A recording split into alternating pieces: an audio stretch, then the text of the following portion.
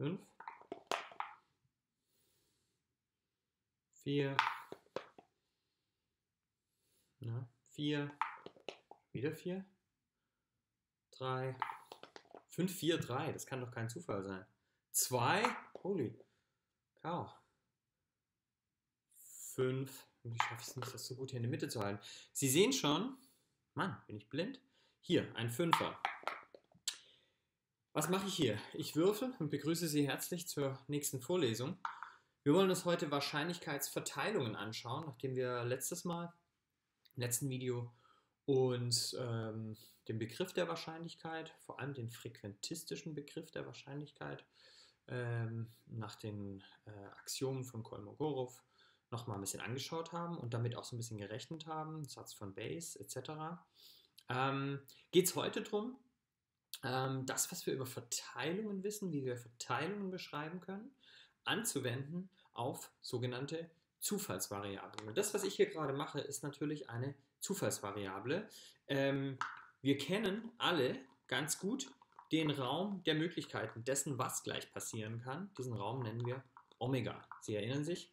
Und eine einer der möglichen Werte realisiert sich jetzt sozusagen, wenn man das so sagen darf. Jetzt hat sich die 4 realisiert. Ähm, und wenn ich Sie jetzt mal frage, was ist eigentlich die Wahrscheinlichkeit, dass jetzt gleich hier eine 3 kommt? Kam eine 3? Nee, es kam eine 5. Aber was war die Wahrscheinlichkeit? Die Wahrscheinlichkeit war, würden Sie mir sicher zustimmen, ähm, ein Sechstel. Weil wir sechs verschiedene Ereignisse, Elementarereignisse hatten und dass sich eines davon äh, verwirklicht, ähm, hat bei einem Würfel die Wahrscheinlichkeit ein Sechstel. Das wissen Sie alle oder wissen, nehmen, haben ein sehr intuitives Gespür dafür. Ähm, und sozusagen haben Sie direkt gerade, wenn ich Sie gefragt habe, was ist die Wahrscheinlichkeit, dass gleich eine 3 kommt, äh, quasi direkten Zugriff auf die Wahrscheinlichkeitsverteilung, die diesem Würfel als äh, Zufallsexperiment, kann ich auch sagen, äh, zugrunde liegt. Ja? Die Frequentistin, der Frequentist würde eigentlich sagen, lassen Sie uns das mal ausprobieren. Wie wird denn on the long run, wie man im Englischen auch sagt, ähm, die relative Häufigkeit dieser drei als ein mögliches Ereignis ähm, ausfallen? Ja? Und damit haben wir eigentlich äh, zum ersten schon eine Wahrscheinlichkeitsverteilung etabliert, nämlich die zugegebenermaßen auf den ersten Blick etwas langweilige Gleichverteilung. Ähm, nach Simon Laplace würde ich sagen, wenn ich einen Ergebnisraum, ähm, Ereignisraum, manchmal auch genannt Omega, ähm, mit äh, n Ereignismöglichkeiten habe, in dem Fall sechs Ereignismöglichkeiten, und nichts weiter weiß a priori, dann ist von Gleichverteilung dieser Wahrscheinlichkeiten erstmal auszugehen.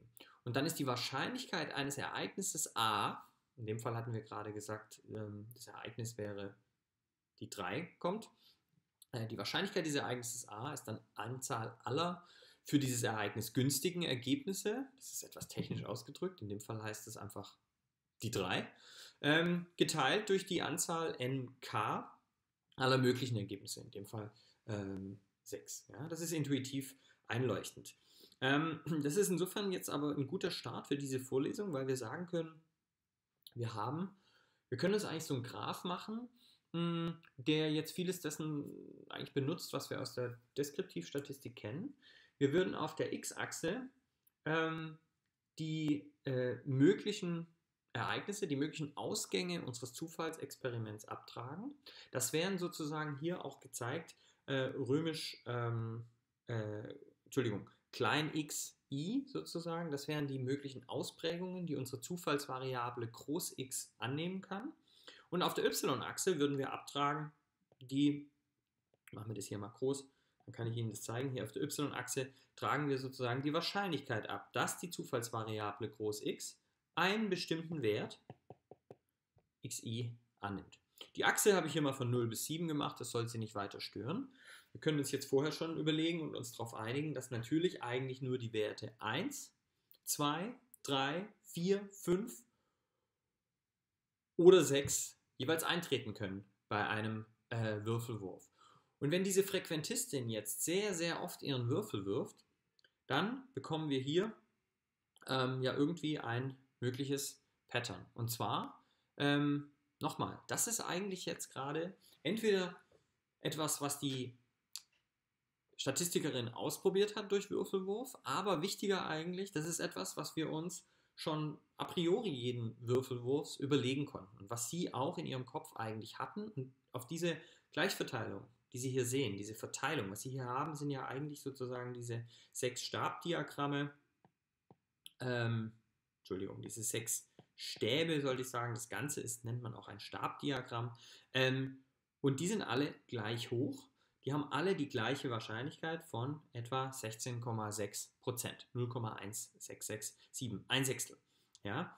Ähm, was wir jetzt hier also haben, ist, ähm, schauen, ob wir das hier jetzt auch sehen, genau, das nennen wir eine uniforme Wahrscheinlichkeitsverteilung oder auch Gleichverteilung. Und hier unten sehen Sie noch, wir nennen das auch eine Probability Mass Function.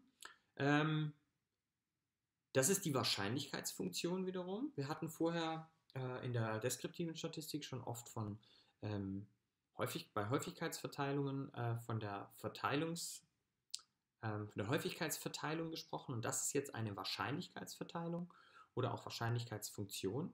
Und warum heißt sie Probability Mass Function? In diesem Maß, also Massefunktion sozusagen steckt drin, dass diese spezielle Zufallsvariable Würfelwurf ja eben diskret ist. Die kann nur sehr bestimmte Werte annehmen, nämlich genau die hier gezeigten. Deshalb zeigen, zeigen wir das auch gerne in so einem, in so einem Stabdiagramm, äh, weil wir sagen, wir haben dann äh, hier ähm, eben nur die Möglichkeit, tatsächlich diese diskreten Werte anzunehmen. Ähm, ebenfalls analog zu dem, was wir aus der, aus der deskriptiven Statistik von den Lagemaßen kennen, können wir jetzt bei so einer Wahrscheinlichkeitsverteilung fragen, was ist denn eigentlich der Erwartungswert? Sozusagen der mittlere Wert, den ich erwarten würde, wenn diese Zufallsvariable Würfelwurf ähm, sich sehr oft verwirklicht, verschiedene Werte annimmt. Was ist der Wert, den wir im Mittel erwarten würden? Und da greifen wir ebenfalls zu unserem Lieblingstrick, nämlich zu einer äh, gewichteten Summe. Die Formel, die Sie jetzt hier unten sehen, ist quasi wieder dieselbe, die wir immer für gewichtete Summen nehmen und die wir auch beim arithmetischen Mittel als eine Möglichkeit zum Berechnen des arithmetischen Mittels uns angeschaut hatten und auch als wir kategorisierte Daten hatten, hatten wir das mal äh, so angewendet. Wir würden sagen, was ist die äh, Wahrscheinlichkeit, dass, ein, dass die Zufallsvariable x einen bestimmten Wert xi annimmt? Also zum Beispiel, was ist die Wahrscheinlichkeit, dass sie den Wert 1 annimmt? Hm, ein Sechstel. Und das gewichte ich jetzt mit dieser Ausprägung xi. Und dann gehe ich weiter und schaue, wie wahrscheinlich ist es, dass es die 2 wird. Das ist dieser Ausdruck hier vorne, ebenfalls ein Sechstel mal 2. Und so summiere ich das auf über alle möglichen Ausprägungen meiner hier ja diskreten Zufallsvariable, die in dem Fall auch diesem speziellen Fall eine endliche Anzahl von möglichen Ausprägungen hat, nämlich diese sechs verschiedenen. Und dann könnte ich so eine Art Erwartungswert für die Zufallsvariable ermitteln, für die Zufallsvariable x gleich Würfelwurf und bekäme einen äh, Mittelwert von äh, 3,5. Äh, genau, und das ist eben auch schon wieder eine gewichtete Summe. Das war jetzt schon unsere erste Wahrscheinlichkeitsverteilung, äh, an der wir vor allem an diesem Graph, den ich hier zeigen wollte, schon vieles ähm, gesehen haben und auch vieles eigentlich wieder gesehen haben, was wir von den Häufigkeitsverteilungen ähm, schon kennen und was wir dort etabliert hatten. Der größte Unterschied vielleicht, da es eine Wahrscheinlichkeitsverteilung ist, oder in dem Fall eine Probability Mass Function, äh, wir haben auf der y-Achse Wahrscheinlichkeiten. Hier, was liegt mein Würfelbecher noch? Den muss ich ein bisschen wegstellen. Ähm, und wir können jetzt weitergehen und sagen, wir haben die Gleichverteilung kennengelernt als eine Wahrscheinlichkeitsverteilung, von der wir oft ausgehen, wenn wir erstmal keine anderen Vorannahmen haben. Und wir wollen uns jetzt im Folgenden noch zwei andere sehr wichtige, diskrete Wahrscheinlichkeitsverteilungen angucken. Das eine ist die Binomialverteilung und das andere ist die Poisson-Verteilung. Und je nachdem, wie wir dann zeitlich stehen, werden wir hier in diesem Video dann auch noch das überführen in die sogenannten stetigen Wahrscheinlichkeitsverteilungen, wo eben nicht mehr diskrete Ereignisse auf dieser x-Achse hier abgetragen sind, sondern diese Probability Mass Function, die nur an ein paar diskreten Werten überhaupt ähm, sozusagen sich ausprägen kann und die man deshalb ganz gut mit so einem Stabdiagramm zeigen kann. Hm, das überführen wir dann in eine stetige Wahrscheinlichkeitsverteilung, die dann quasi all mögliche Werte annehmen kann und wir sprechen dann auch von einer Wahrscheinlichkeitsdichte-Funktion oder Probability Density Function. Aber das ist noch ein bisschen dorthin.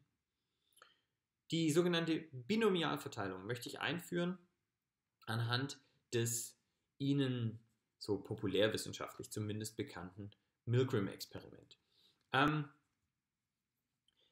das Experiment von Milgram ist ziemlich berühmt, berüchtigt, umstritten, ähm, vielleicht teilweise auch berühmt für die, wie soll ich sagen, für die, für die, falschen, für die falschen Aspekte.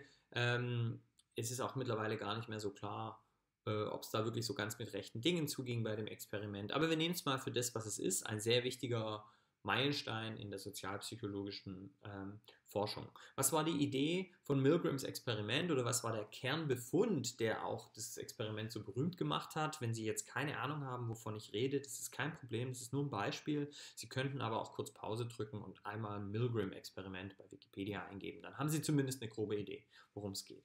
Also die Idee des Experimentes war, dass ich die Bereitschaft messe, ähm, wie stark ähm, Menschen bereit sind, Probanden bereit sind, eigentlich gegen ihr eigenes Gewissen Anweisungen Folge zu leisten. Auf die Gefahr hin, dass diese Anweisungen zum Schaden Dritter äh, sind oder gar zum Tod Dritter führen. Das war so diese ziemlich, dieses drastische Framing von dem Experiment. Der Hauptbefund, den Milgram sozusagen als sein, sein Hauptwerk herausgestellt hat, ähm, war zu sagen, auch mal diese Kamera hier aus der Reitschirm, irritiert mich selber die ganze Zeit. So, äh, der Hauptbefund war, etwa 65% aller Probanden machen mit bis zum Ende des Experiments und wählen die höchste Stromstärke, wenn man sie nur, wenn man ihnen sozusagen diesen Befehl stetig wieder gibt, dass sie mitmachen müssen, dass das Experiment erfordert, dass sie diese Stromschläge geben, dann machen 65% aller Probanden mit und 35% kann man aber auch sagen, weigern sich an irgendeinem Punkt und brechen das Experiment ab. Hier ein Screenshot äh, von einem der ähm, Probanden. Wenn Sie auf YouTube mal nachschauen, das Video, ist ganz eindrücklich. Ähm, was hat das jetzt alles mit Zufallsvariablen zu tun und Wahrscheinlichkeitsverteilungen? Die wichtige Grundidee hierbei ist, dass wir jetzt sagen können, ein einzelner Durchgang in, einem, in diesem Milgram-Experiment ist eigentlich nichts anderes als ein sogenannter Bernoulli-Versuch. Das ist ein neues Wort, was ich hier einführe. Was ist ein Bernoulli-Versuch? Wir denken uns ja jede Person in Milgrams Experiment, jede Versuchsperson, als äh, den Durchgang eines Zufallsexperiments. Ich kann also wiederum sagen, ich habe eine Zufallsvariable, ähm, Ausgang des ähm, Experiments oder wie verhält sich der Proband gleich oder so. Ähm, und der Ausgang also das, was sich dann verwirklicht, die Ausprägung xi sozusagen, die ist eigentlich binär äh, oder wir sagen manchmal auch dichotom, also wirklich zwei geteilt. Entweder wir können das mal in so einer statistischen Sprache als Success bezeichnen. Ähm, die Person weigert sich, den höchsten Schock zu verabreichen. Oder auch Failure, die Person verabreicht den Schock.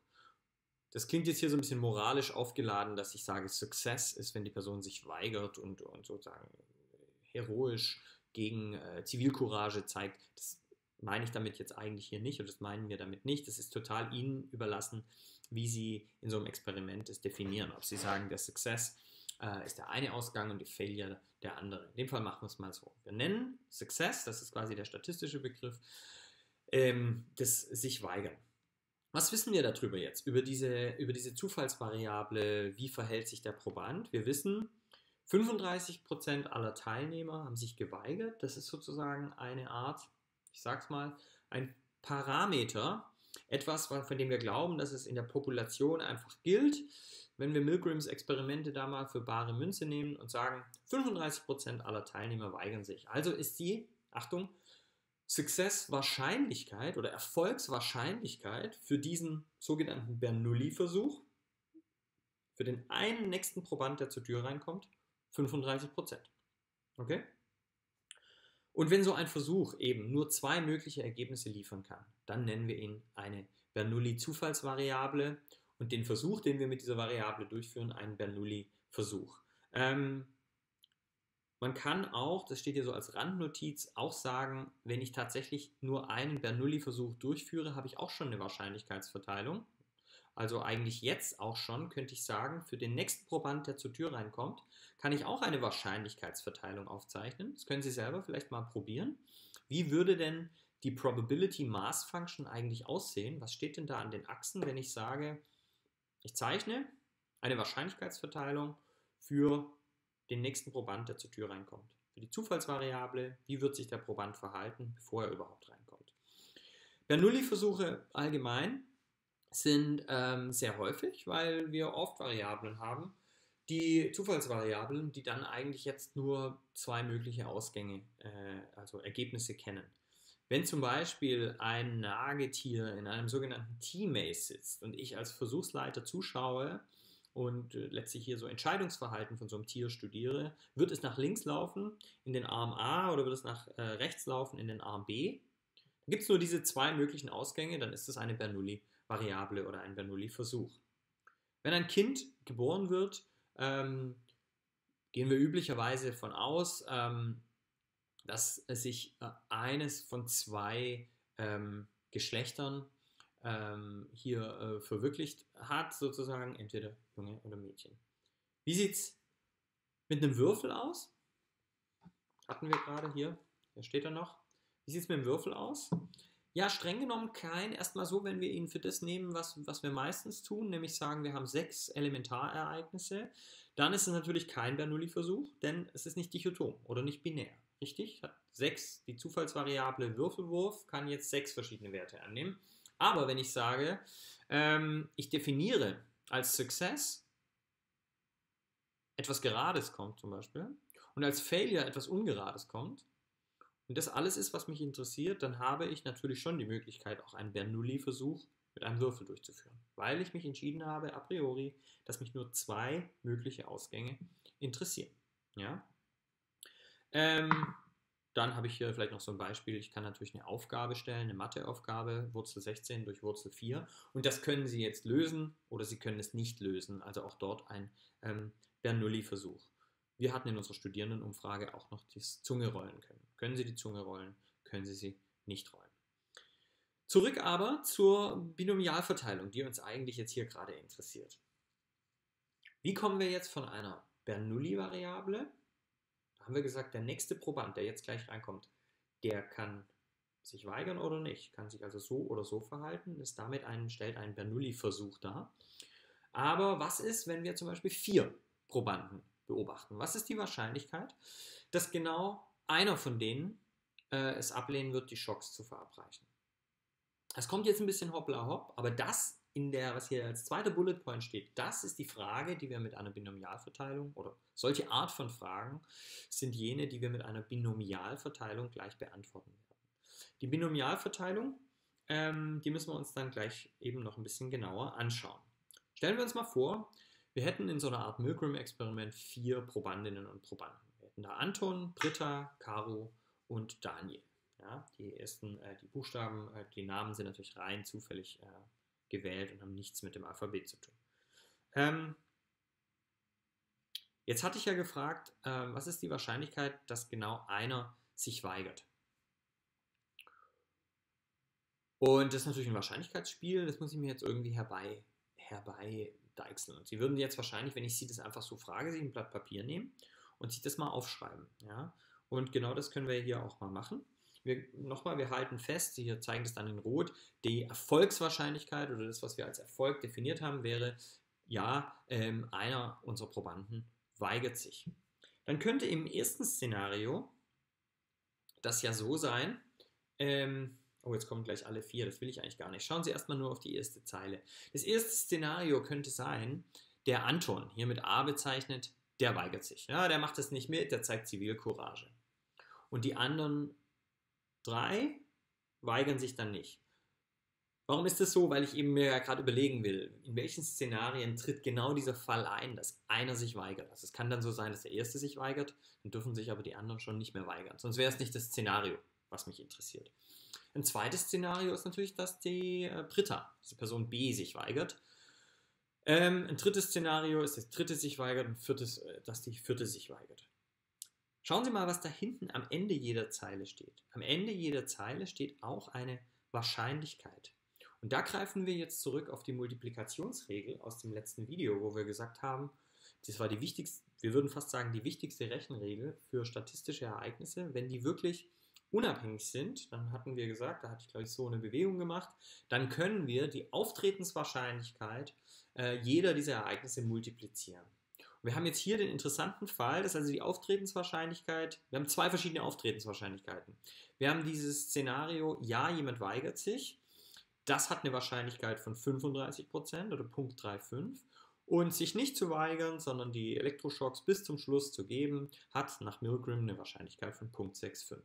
Wenn ich also Punkt 3,5 einmal mit Punkt 6,5 dreimal, ich könnte auch sagen hoch 3, richtig? Also das da hinten kann ich auch schreiben als Punkt 6,5 mal Punkt 6,5 mal Punkt 6,5, kann ich auch schreiben Punkt 6,5 hoch 3. Das multipliziere, kommt etwa 10% raus, 0,0961, also 9,61%.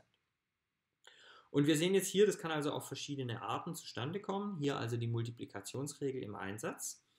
Und Jetzt müssen wir noch sagen, uns interessiert ja die Wahrscheinlichkeit, dass genau einer sich weigert. Und um das zu tun, müssten wir jetzt noch, die, um diese Wahrscheinlichkeit wirklich zu ermitteln, greifen wir jetzt eigentlich schon auf das Axiom aus der Wahrscheinlichkeitsrechnung, auf das dritte Axiom zurück, weil wir sagen, diese Aussage, dass genau einer sich weigert, diese Wahrscheinlichkeit entspricht der Summe all dieser disjunkten Wahrscheinlichkeiten hier. Diese Szenarios sind ja disjunkt, also entweder das eine tritt ein oder das andere oder nochmal eins oder das vierte, ja, quasi so, bei vier Probanden. Dann habe ich quasi hier zu summieren diese 9,6 Prozent aus jedem dieser Ereignisse oder die Wahrscheinlichkeit jedes dieser Ereignisse. Und wenn ich dies alles summiere, weil das sind disjunkte Ereignisse, dann komme ich auf ein, eine ähm, sozusagen äh, eine, eine Wahrscheinlichkeit, eine summierte Wahrscheinlichkeit von etwa 40% Okay? Das war alles die Wahrscheinlichkeit für die Frage, dass einer von vier Probanden sich weigert. Wir haben hier die vier Szenarios, auf die Arten das zustande kommen kann. Das war jetzt schon ziemlich wortreich und ziemlich aufwendig, aber glaube ich, ist nachzuvollziehen. Was aber, wenn es letztlich vor allem mehr äh, Probanden sind oder uns auch nicht die Tatsache interessiert, dass einer sich weigert, sondern was, wenn ich natürlich jetzt im Beispiel relativ arbiträr, aber was, wenn ich sage, ich hatte neun Probanden und Probandinnen und mich, mich interessiert, was ist die Wahrscheinlichkeit, dass genau zwei sich weigern? Ich sollte an der Stelle vielleicht kurz mal zurücktreten und sagen, warum machen wir das alles? Wir machen das, weil wir natürlich später als Wissenschaftlerinnen und Wissenschaftler oft empirische Ergebnisse ermittelt haben. Also stellen Sie sich vor, dies ist Ihre Bachelorarbeit. Sie hatten neun Probanden und genau zwei zeigen das, was sie als Erfolg, sehr arbiträr als Erfolg definiert haben. Dann ist das ihr Ergebnis. Und dann fragen sie natürlich, wie wahrscheinlich war es, dass dieses Ergebnis eintritt, wenn ähm, eine, etwas in der Population gilt, ein Parameter wahr ist, wie zum Beispiel in diesem Fall gerade ist unser Parameter ähm, diese 35% hm, Weigerungswahrscheinlichkeit. Ja? Also können wir dann schon fragen, dann kann das für Sie sehr schnell zu einem sehr praktischen Problem werden. Was ist die Wahrscheinlichkeit, dass bei neun Probanden genau zwei sich weigern? Wenn man das dann mal aufschreibt mit diesem hier, also R für Refusal to Shock und S für Shock, dann gibt es da sozusagen sehr viele Möglichkeiten und das ist nur ein kleiner Auszug der Liste aller Möglichkeiten, wie sich sozusagen das ergibt. Wenn Sie jetzt wundern, wo kommt das her? Wie kann ich mir das, wie kann ich mir das definieren, welche Möglichkeiten es gibt? Dann muss man hier sagen, das ist natürlich ein Fall der Kombinatorik. Hier brauchen wir jetzt die Kombinatorik, die im extra äh, Kombinatorik- und Permutationsvideo beziehungsweise natürlich auch in allen Lehrbüchern ausführlichst behandelt wird. Wir brauchen aber eben für unsere Zwecke nur einen kleinen Auszug und den leihen wir uns jetzt hier auch gleich ähm, aus. Und zwar das, was wir brauchen aus der Kombinatorik, um schnell zu ermitteln, halt mal, auf wie viele Möglichkeiten können denn zwei Erfolge bei neuen Probanden auftreten? Ähm, dazu benutzen wir den sogenannten Binomialkoeffizient. Den kennen viele von Ihnen vielleicht noch aus der Schulmathematik oder werden jetzt oder wurden im Kombinatorik-Video daran erinnert. Der Binomialkoeffizient ähm, hat sozusagen die ähm, äh, eigene Schreibweise, dass man ihn mit diesem äh, geklammerten Begriff hier schreibt. Sieht ein bisschen aus wie ein Vektor, ist aber nicht wirklich einer. Und ich schreibe dort n über k, so spreche ich ihn im Deutschen auch. Ähm, und viele Programme wie MATLAB oder R ähm, oder wahrscheinlich auch Excel haben den eigentlich ähm, eingebaut. Dort heißt er oft äh, choose oder n choose k, weil äh, das die englische Sprechweise ist. Für dieses n über k sagt man n choose k. Und der Binomialkoeffizient ist ähm, sozusagen die schnelle Art, wie ich mir ähm, ausrechnen kann, wenn ich zum Beispiel drei Münzwürfe habe. Also ich werde jetzt gleich dreimal eine Münze werfen das ist also mein n. Es wird drei Versuche geben. Ähm, und ich habe jetzt zweimal Zahl beobachtet sozusagen. Ähm, dann kann ich fragen, wie wahrscheinlich war denn das? Auf wie viele Arten und um, das, um diese Wahrscheinlichkeit gleich zu ermitteln, brauche ich erstmal die Anzahl, auf wie viele Arten es zustande kommen kann und schreibe dazu n Fakultät geteilt durch äh, 2 Fakultät mal ähm, 1 Fakultät in dem Fall, also n-k Fakultät, das sehen Sie hier in dem kleinen Beispiel. Und da kommt dann zum Beispiel, weil es jetzt 3 über 2 war, einfach 3 raus. Die berühmte Combinatorial Explosion ist aber natürlich, dass das extrem nach oben geht. Die Anzahl der möglichen Kombinationen sind es hier eigentlich. Ähm, wenn ich zum Beispiel fünf Eissorten habe und frage, auf wie viele Arten da zwei Kugeln im Becher landen können, komme ich auf 10. Wenn ich der klassischste Fall am äh, Lotto, am klassischen Lotto teilnehme, äh, dann kann ich fragen, ähm, dass genau diese sechs Kugeln gezogen werden aus 49, auf wie viele verschiedene Arten, also wie viele verschiedene Lösungen können da zustande kommen, dann komme ich schon auf fast 14 Millionen. Ja? Und ähm, das ist natürlich äh, ein ganz schöner Anstieg, wenn man sich das anguckt, von 3 über 2, 5 über 2 zu 49 über 6 sind wir auf einmal bei ähm, 13 äh, Millionen Möglichkeiten. Das Gute ist, mit all diesen Möglichkeiten haben wir eigentlich wenig zu tun, aber sie gehen eben gleich ein in die Wahrscheinlichkeit. Wenn Sie nochmal zurückschauen bei unserem Beispiel gerade mit vier Probanden, dann haben wir ja auf die verschiedenen Arten, auf die ein Ergebnis zustande kam, haben wir die sozusagen ähm, aufsummiert. Ähm, mit etwas, was man auch mit dem Binomialkoeffizient hätte darstellen können. Wir haben jetzt auf der nächsten Formel das mal alles hier zusammengefasst. Da sehen wir den Binomialkoeffizient auch nochmal. Die Binomialverteilung, die bündelt das für uns. Die Binomialverteilung antwortet uns auf die Frage, wie wahrscheinlich ist es, da gehe ich vielleicht auch doch mal kurz rein, hier mit meinem Stift, dass Sie das sehen. Also die Wahrscheinlichkeit, was ist die, wie wahrscheinlich ist es, P, dass wir K Erfolge in N Durchgängen beobachten können. Ja? Und wenn ich das wissen möchte, also wir hatten ja vorher zum Beispiel, einer weigert sich von vier und dann hatten wir noch auf einem anderen Slide dann zwei weigern sich von neun. Ja? Dann ist die Formel dazu ziemlich genau das, was Sie vorhin in diesen Szenarios geschrieben gesehen haben. Die Erfolge, so oft wie die Erfolge kommen, multipliziere ich die Erfolgswahrscheinlichkeit. Das war am Anfang also nur einmal, also das wäre Punkt 3,5 hoch 1 gewesen. Und dann habe ich die Misserfolgswahrscheinlichkeit, die, weil Bernoulli-Versuch, disjunkte Ereignisse, äh, natürlich 1 minus die Erfolgswahrscheinlichkeit ist, also das war Punkt 6,5, hoch der Anzahl Misserfolge letztlich, also n minus k, das waren im ersten Szenario hoch 3. Und dann muss ich hier noch fragen, auf wie viele verschiedene Arten kann das zustande kommen? Das ergibt mir, der, das sagt mir der Binomialkoeffizient und den benutze ich hier quasi noch vorne dran. Das heißt auch, das ist, ähm, ja genau, also Binomialkoeffizient n über k. Das heißt, ich muss also, um so eine Wahrscheinlichkeit ausrechnen zu können, offensichtlich irgendwas annehmen für p. Äh, wir werden gleich sehen, das ist üblicherweise was, mit dem wir schon starten bei der Binomialverteilung. Das ist etwas, von dem wir vorher ausgehen müssen und n muss klar sein. Und dann können wir fragen, wie wahrscheinlich ist es denn bei n Versuchen und einer Wahrscheinlichkeit von p k Erfolge äh, zu beobachten. Ja? Ähm, wenn wir jetzt zusammen im Hörsaal wären, würde ich an der Stelle das mit Ihnen mal auch noch mal ein bisschen intuitiver durchspielen würde sagen, 2012 ermittelte eine große Umfrage, dass, Achtung, Information, über die Welt, ein Parameter kommt jetzt, dass 26,2 aller, äh, Prozent aller US-Amerikaner adipös, also stark übergewichtig sind. Wenn wir jetzt 10 Amerikaner wahllos herausgreifen und Amerikanerinnen, was ist die Wahrscheinlichkeit, dass genau 8 dieser 10 adipös sind? An der Stelle können Sie auch gerne kurz Pause drücken, mal tief durchatmen aufstehen, eine Runde durch den Raum laufen und dann nochmal ein bisschen zwei, drei, vier, fünf Minuten zurückklicken und sich ganz genau fragen, was diese Frage jetzt mit unseren anderen Milgram-Fragen zum Beispiel zu tun hat. Und dann erstmal rein aus der Intuition heraus antworten. Ist die Wahrscheinlichkeit jetzt ziemlich hoch, dass genau 8 von 10 adipös sind, oder ist die eher ziemlich niedrig? Was sagen Sie?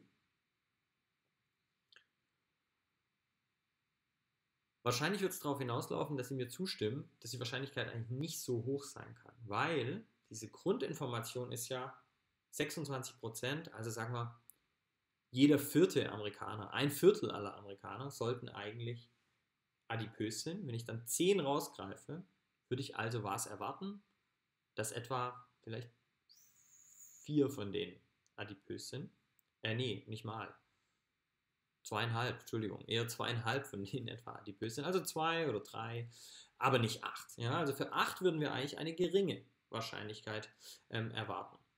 Und dann sehen wir jetzt hier auch nochmal zusammenfassend, was wir schon zusammen erarbeitet haben, die genaue Formel und können uns fragen, welche ist denn hier jetzt die genau richtige Formel, um das auszurechnen. Was haben wir da oben? Da, ist, da fehlt irgendwie der Binomialkoeffizient in a, das kann es eigentlich irgendwie nicht sein. Das kann es irgendwie nicht sein. Was ist hier los? Da wäre quasi, der Binomialkoeffizient geht ja n über k, das wäre dann aber hier 8. Nee, das macht, also das ist doch eigentlich, eigentlich muss ich mir doch das erstmal hier oben hinschreiben. Ich muss sagen, das ist eigentlich die Information, die mir gegeben wird. Das ist der Parameter. Und dann wird mir gegeben genau 8, dann müsste das das k sein. Und genau von 10, das müsste das n sein. Ja? Wenn ich das anwende und mich daran erinnere, was wir auf den letzten Slides an, ähm, als Formel für eine binomial verteilte Wahrscheinlichkeit ermittelt haben, dann müsste es so sein, dass wir sagen n über k 10 8. Und dann müsste das eigentlich, es läuft alles ziemlich genau hier auf C raus als die richtige Antwort. Kann man hier auch nochmal vielleicht hinschreiben, denn wir haben hier n über k, haben dann hier die Erfolgswahrscheinlichkeit hoch k und das Ganze mal der Misserfolgswahrscheinlichkeit, die nennt man manchmal auch q, hoch n minus k. Ja? Genau. Das äh, der Stand der Dinge. Wir könnten also hier sagen, acht Erfolge in zehn Durchgängen entspricht im Übrigen, das kann ich dann hier auch mal ausrechnen, einer ziemlich kleinen Wahrscheinlichkeit, wenn ich all diese Werte einsetze, und das können Sie gerne mit dem Taschenrechner mal durchführen, sollte eine Wahrscheinlichkeit von weit unter einem Prozent resultieren, 0,00054. Ja? Was war jetzt das Konstruktionsprinzip einer Binomialverteilung? Und was haben wir bisher gemacht? Wir haben bisher für eine Wahrscheinlichkeitsverteilung, die auch nur endlich viel verschiedene Ausgänge hat,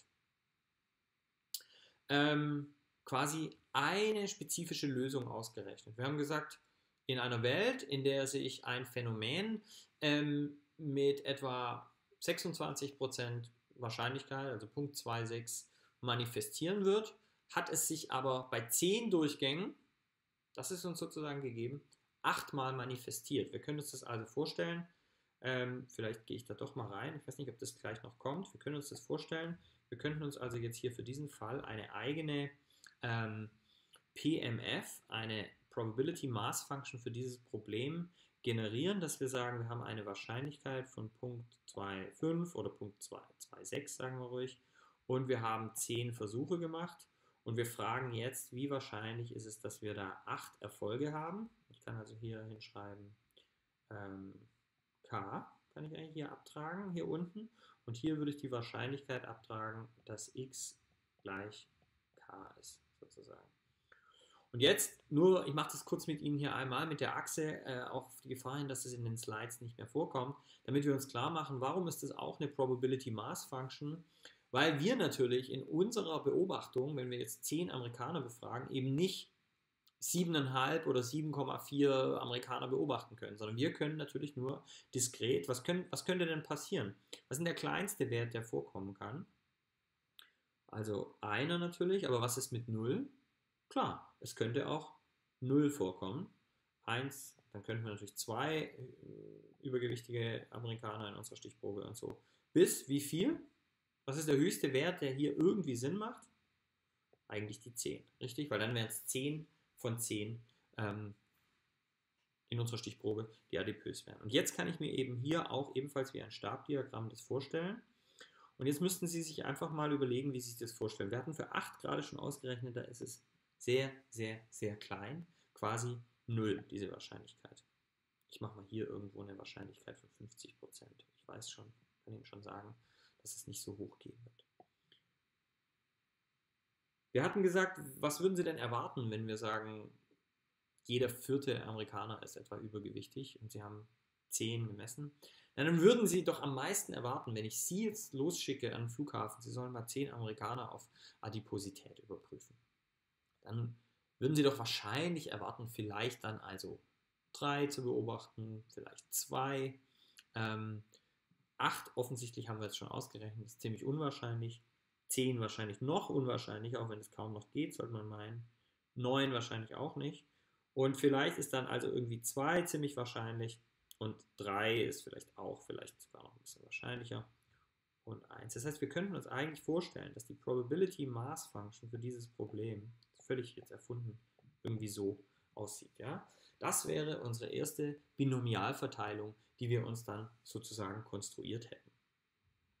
Ähm, Genau, das hatten wir jetzt gerade hier hingeschrieben. Das sehen Sie dann in den Slides nochmal. Da habe ich jetzt einfach frech drüber gemalt. Die Wahrscheinlichkeit, die wir hier also abtragen auf der y-Achse, ist die Häufigkeit, mit der ein Ereignis A ähm, bei n unabhängigen Versuchen eintreten würde. Und so haben wir uns dann oft im äh, Classroom, wenn wir das gemacht haben, hier äh, zusammen mit der Variable Zungenrollen können, die eben auch eine Bernoulli-Variable ist, äh, genau sowas äh, konstruiert. Wir hatten dann oft gesagt, was wie, wie, können wir jetzt aus dem Zungerollen das machen? Wir müssten natürlich vorher erstmal festlegen, ähm, wie oft wollen wir nachschauen. Also kurz gesagt, wie groß soll unsere Stichprobe sein? Zum Beispiel könnten wir sagen, fünf Studierende. Und was ist eigentlich die Wahrscheinlichkeit in der Bevölkerung, die Zunge rollen zu können? Das ist also offensichtlich bei einer Binomialverteilung ein Parameter, ich sage es gerne nochmal, den ich vorher schon brauche. Wir können auch sagen, diese beiden Angaben das sind sogenannte Parameter der Binomialverteilung. Es gibt also, da das Parameter der Binomialverteilung sind, offensichtlich nicht eine Binomialverteilung, sondern sehr viele. Ich kann also sagen, ein Merkmal x ist ungefähr vielleicht binomial verteilt, manchmal auch bi genannt, mit n und p. Okay, und dafür muss ich mich sozusagen vorher festlegen, was, welches N und welches P mich interessiert. Und dann müssen wir natürlich einfach mal Daten erheben und müssen schauen, wie viele Erfolge K bekommen wir denn so. Wir könnten hier in dem Fall mal sagen, wir testen fünf Studierende und wir sagen mal so frei nach ein paar Lehrbüchern und Wikipedia, die Wahrscheinlichkeit, die Zunge rollen zu können, betrage knapp 80%, 77%. Also etwa jeder siebte sollte äh, die äh, nee, 7 von 10, Entschuldigung, 7 von 10 sollten die Zunge äh, rollen können oder 8 von 10, so muss ich sagen. Ähm, und dies variieren wir nun. Und k wären eben die Ausprägungen unserer Zufallsvariable.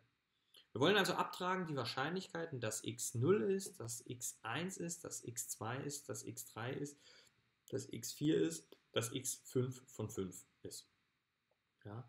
Und wenn wir das dann für dieses Zungerollen zum Beispiel machen, dann können wir das da in die Formel einsetzen, bekommen dann wiederum eine Verteilung, die wir uns hier also sozusagen als PMF auch abtragen können. Äh, das könnten Sie selber auch äh, nochmal tun. Wenn Sie vor dem inneren Auge das machen, wäre sozusagen für x gleich 0, das ist in dem Fall ein sehr, sehr niedriger Stab. Für 1 ein bisschen ein höherer, 1%. Für x gleich 2 wären es schon 7%. X gleich 3, 24% x gleich 4 wäre der höchste, nämlich mit ähm, 40% etwa. Und dann geht es wieder ein bisschen runter bei 5.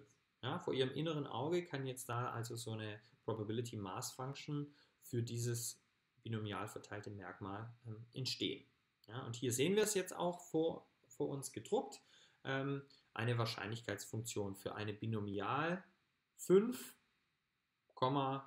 5,077 Verteilung. Also das nochmal, das hier ist quasi das der Parameter n und das ist der Parameter p.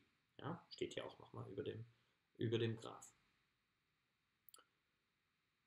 Jetzt ist noch die Frage, können wir hierfür eigentlich auch äh, so eine Art ähm, Erwartungswert ausrechnen. Also erstmal sehen wir hier dran nochmal, es können sich nur bestimmte Werte, nur diskrete Werte verwirklichen. Das ist, ähm, haben wir jetzt, glaube ich, schon ausreichend besprochen. Ähm, aber wir könnten mit dieser Verteilung noch ein paar andere Sachen machen. Also zum einen können wir noch fragen, das müssen wir gleich noch machen, können wir so eine Wahrscheinlichkeitsverteilung einer Zufallsvariable ähm, auch mit einem Erwartungswert versehen? Wir haben das vorher bei der Gleichverteilung schon gemacht. Es müsste doch hier eigentlich nach dem gleichen Prinzip im Prinzip auch äh, funktionieren.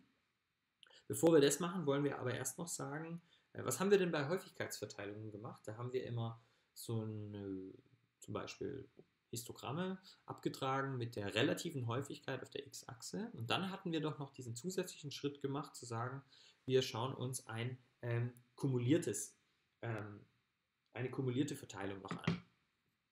Und das können wir natürlich hier auch machen. Wir können auch sagen, und das wird uns sehr, sehr oft wesentlich mehr interessieren, dass wir sagen, äh, wir tragen nicht eigentlich die Wahrscheinlichkeit ab, sondern, sehen Sie das hier, wir tragen ab die Wahrscheinlichkeit dass die Zufallsvariable, ähm, die heißt jetzt hier mal k, das ist eigentlich ein bisschen irreführend, ich nenne sie auch mal lieber x, dass die kleiner oder gleich einem bestimmten ähm, Wert ist.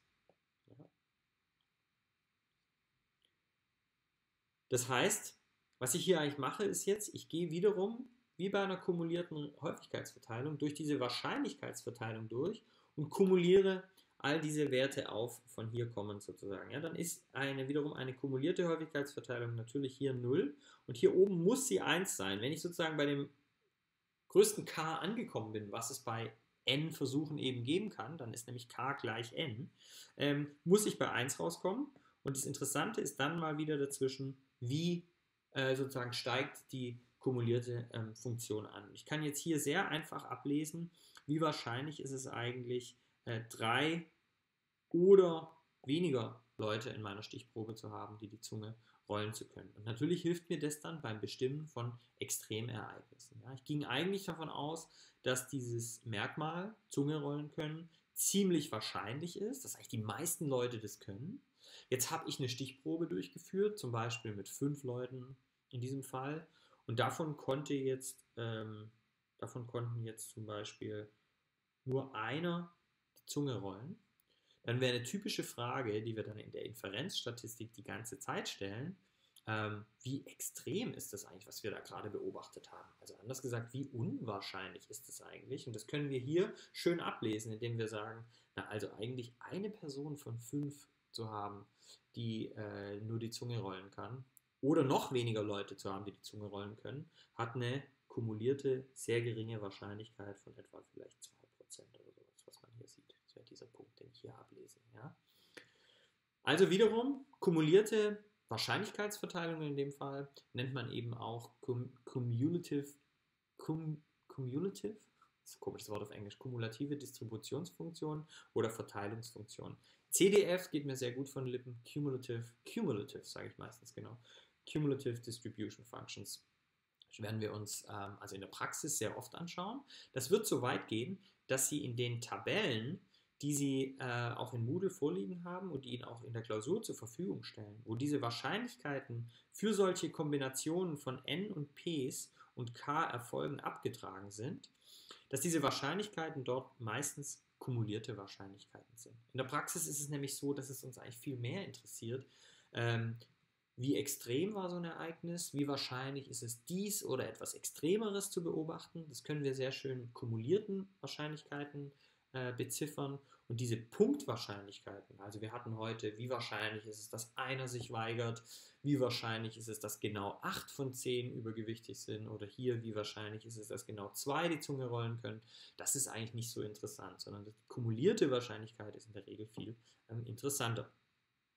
Wenn ich die Binomialverteilung anwenden will, dann kann ich das also sozusagen hier auch machen. Das machen wir jetzt nicht, das wäre etwas für den äh, für den Classroom gewesen. Aber wir können noch ähm, abschließend zur Binomialverteilung fragen, a priori aller Datenerhebung. Das ist sozusagen bis jetzt nur was rein, ein rein theoretisches, ähm, ich plane sozusagen gerade meinen Versuch, dann kann ich fragen, gegeben eine Wahrscheinlichkeit und gegeben ein n, was würde ich denn erwarten? Was ist der Erwartungswert meiner binomial verteilten Zufallsvariable? Und wenn ich das an diesem Beispiel mit den übergewichtigen Amerikanern und dieser Umfrage nochmal mache, kann ich also fragen, wie viel Adipöse würden wir erwarten, wenn wir eine Stichprobe von n gleich 100 US-Amerikaner ziehen. Ich sollte einmal vielleicht dazu sagen, dass das Beispiel, äh, ich es geklaut habe, von einer US-amerikanischen Kollegin, wollte ich sagen. Also das ist hier kein äh, billiger Anti-Amerikanismus. Das Gegenteil. Ähm, also nichts läge mir ferner. Ähm, also, wie viel adipöse Amerikaner bekommen wir, wenn wir, würden wir erwarten, wenn wir 100 ähm, ziehen? Ja, intuitiv haben Sie das wahrscheinlich schon für sich gerade wieder selber richtig formuliert und würden sagen, naja, wahrscheinlich so etwa auch 26 würde ich dann erwarten. Was haben Sie da eigentlich im Kopf ausgerechnet? Sie haben gesagt, äh, Sie nehmen das n, diese 100, und eigentlich entspricht es einfach der Multiplikation mit dieser Wahrscheinlichkeit. Und äh, viel komplizierter ist es auch nicht. Ähm, jetzt ist es natürlich so, ähm, dass Sie hier eigentlich schon, das kann ich, ich kann es hier auch schon mal hinschreiben, wir sehen es auf dem nächsten Slide dann, das ist sozusagen der Erwartungswert unserer Zufallsvariable groß x, ist in dem Fall also n mal äh, p. Jetzt können Sie hier noch wichtig einwenden, dass Sie sagen, 26,2 Amerikaner kann ich ja nie beobachten. Das ist richtig. Und da lernen wir etwas sehr Wichtiges, nämlich, dass der Erwartungswert einer Zufallsvariable nicht unbedingt ein Wert sein muss, den diese Zufallsvariable jemals in einem Versuch überhaupt tatsächlich ähm, annehmen kann. Aber so ist er mathematisch definiert. Der Erwartungswert einer binomial verteilten Zufallsvariable äh, ist, äh, können wir als μ bezeichnen oder auch als e äh, von groß x. Den können wir einfach ausrechnen als n mal p. Okay? Ähm, wie wir an dem Graph gerade schon gesehen haben, wenn wir da nochmal zurückspringen, an diesem Graph, da ist Streuung drin in dieser Wahrscheinlichkeits, Entschuldigung, das ist die kumulierte, in dieser Verteilung. Ähm, wir können übrigens hier auch schauen, wenn Sie sozusagen 5 mal, sagen wir mal 3 Viertel, mal Punkt 77 nehmen, was ist das etwa? Das müsste etwas, irgendwas um 4 sein und entsprechend sollte sich dort also auch sozusagen der Peak dieser Verteilung andeuten. Das passiert hier. Also Sie können auch hier sozusagen sagen, n mal p wäre der Erwartungswert. Ähm, also 5 mal 0,77 sollte irgendwas rund um 4 sein, ein bisschen über 4 wahrscheinlich. Ähm, und jetzt können Sie aber hier auch genauso fragen, was ist eigentlich die Varianz? Wir wollen doch solche Merkmale auch mit ihrer Streuung beschreiben und natürlich auch Zufallsvariablen können a priori aller Datenerhebung eine Varianz zugeschrieben bekommen. Die Varianz einer Binomialverteilung, das muss ich jetzt, tut mir leid für das Gespringe, da springe ich wieder auf diesen Slide. Ähm, das leiten wir jetzt nicht äh, groß her, das könnte man auch mal tun, aber dafür haben wir jetzt heute hier nicht die Zeit zu sagen, die Varianz einer binomial verteilten Zufallsvariable, die bezeichnen wir dann auch mit Sigma Quadrat, die berechnet sich als n mal p mal der Gegenwahrscheinlichkeit. Also n war ja die Anzahl Versuche, die wir machen wollen, äh, p die Erfolgswahrscheinlichkeit und dann 1 minus p, manchmal auch als q bezeichnet, die Gegenwahrscheinlichkeit, also 1 minus die Erfolgswahrscheinlichkeit. Ähm, in diesem Fall ähm, mit unseren ähm, adipösen US-Amerikanern ergäbe sich hier eine Varianz von etwa 4. Das heißt, wir könnten einen, sozusagen einen Antwortsatz oder einen Hypothesensatz fast, möchte ich sagen, formulieren. Wir würden für eine beliebige Stichprobe von 100 Amerikanern, ähm, wenn diese Wahrscheinlichkeit auf Populationsebene so stimmt, dass eben 26% etwa adipös sind, würden wir erwarten, dass wir ähm, als Erwartungswert 26,2 adipöse plus minus, wenn wir jetzt hier eine Standardabweichung berichten wollen, von plus minus 4 adipöse ähm, erwarten. Ja, das wäre quasi hier ein Beispiel.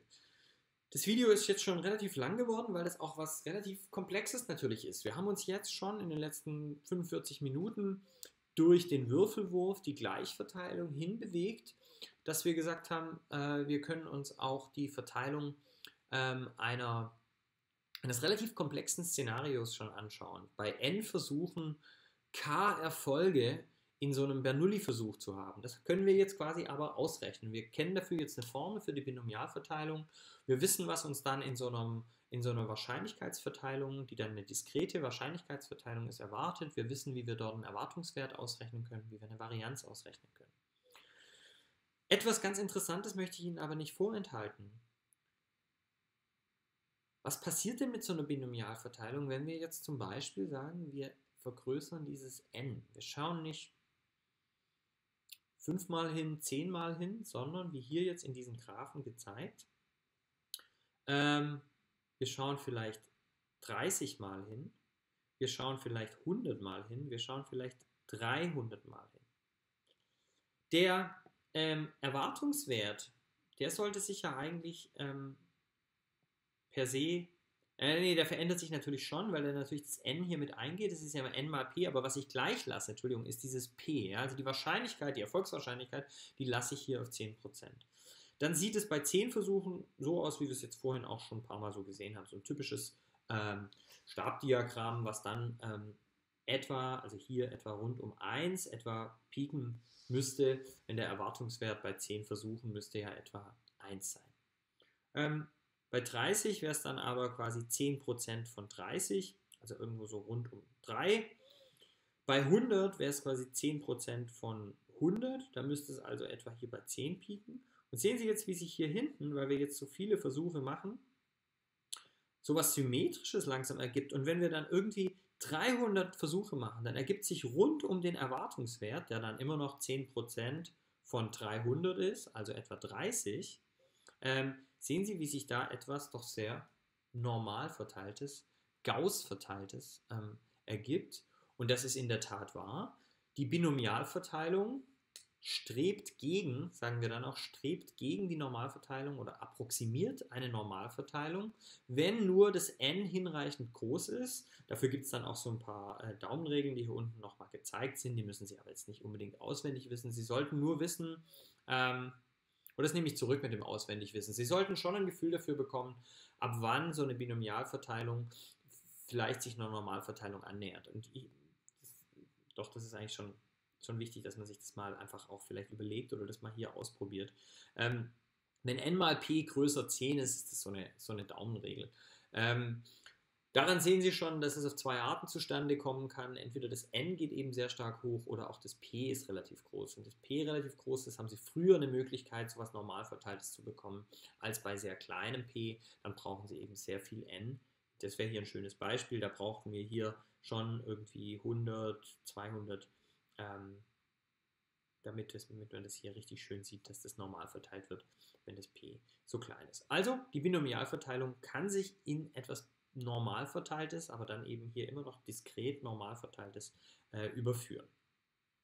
Das hier auf einen Blick nochmal die Zusammenfassung der Binomialverteilung, beschrieben durch zwei Parameter, p und n, oft auch geschrieben als b oder manchmal auch b, schreibe ich hier nochmal dazu, das sieht man nämlich auch manchmal, manchmal sieht man auch b, n, p Verteilung. Aber nochmal hier, diese zwei Parameter sind eben wichtig. Und das würde man dann sprechen, als das Merkmal ist approximativ binomial verteilt mit n gleich 10, rund um n gleich 10 und p gleich äh, 3 Viertel zum Beispiel. Der Erwartungswert ist einfach n mal p ähm, und die Varianz äh, n mal p mal 1 minus p.